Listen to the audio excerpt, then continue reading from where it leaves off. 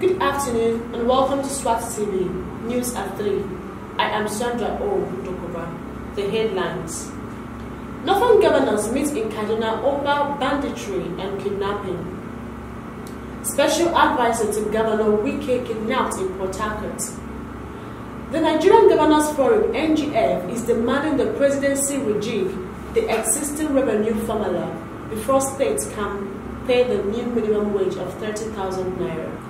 Reports indicate that Zamfara, Kaduna, Katsina, Kebbi, and Sokoto are worse hit in the zone as handbeats, as bandits and kidnappers continue to terrorize the residents in parts of the states. Even as certain routes and highways have virtually become no-go area for motorists. Speaking on Wednesday, during his re-election campaign trip to two of the eight most dangerous local government areas in Katsina State, Zamfara and Dan Musa, Governor Aminu Masari said the affected governors would take all measures possible to counter activities of the criminals and hoodlums. He said the governors of Kebbi and Zamfara visited him last Sunday, during which they had preliminary discussions on the issues.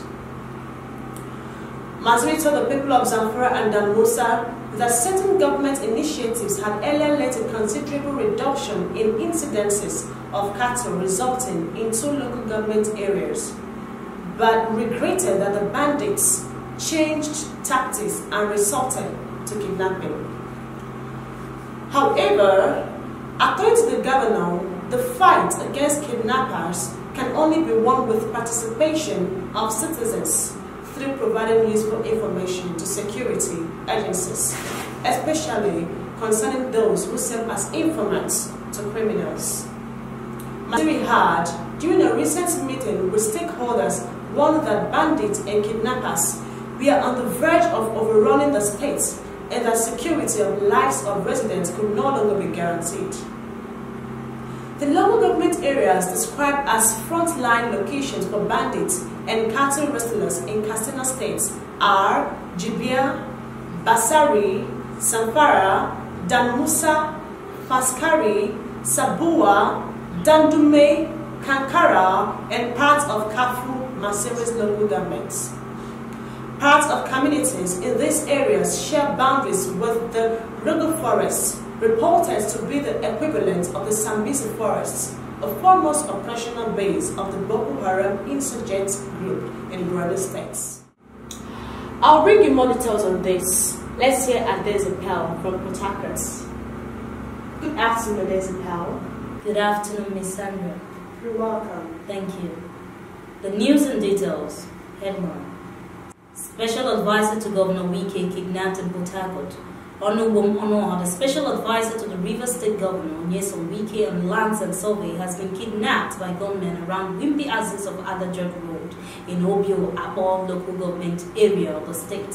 Our correspondent gathered that the armed men trailed Onoha to his hotel along Ada George where they shot sporadically before taking him away at gunpoint. An eyewitness said the attackers whisked their victim away even with four of the security personnel present. The media aide for Onoha, the media aide to Onoha who confirmed the kidnap incident to journalists said no contact had been established between the family of the victim and kidnappers. Meanwhile, the state police command has confirmed the adoption incident. The state police public relations officer Nnamdi Omoni in a statement in Port Harcourt said the kidnappers were dressed in military uniform. That's all for today. I am Adeza Pearl reporting from Port Harcourt. Welcome back.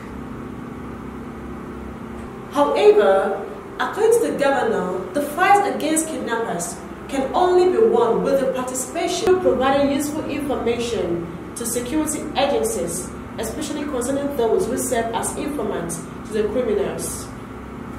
Masari had, during a recent meeting with stakeholders, warned that bandits and kidnappers were on the verge of overrunning the states and that security of lives of residents could no longer be guaranteed. Local government areas described as frontline locations for bandits and cattle rustlers in Katsina State are Jubie, Batsari, Zamfara, Danmusa, Faskari, Sabuwa, Dandume, Kankara, and part of Kafum Maris local government area.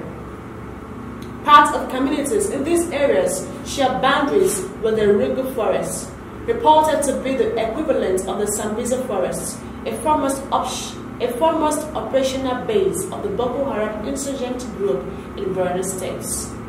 From SWAT TV, I am Sandra oh, O. Thanks for listening.